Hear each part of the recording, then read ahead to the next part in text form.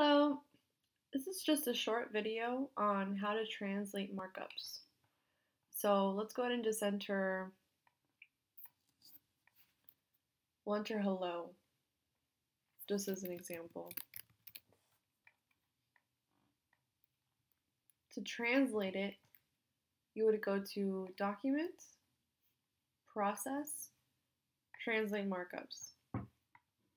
And here's where you'll select the language. We're going to do Spanish today, but you'll see here you have all these options. So you're not just limited to one, which is great.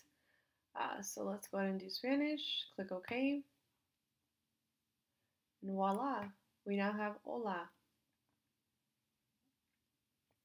If you have any questions, feel free to visit us at www.orangeblade.com or give us a call at 480 559 8670. Thank you.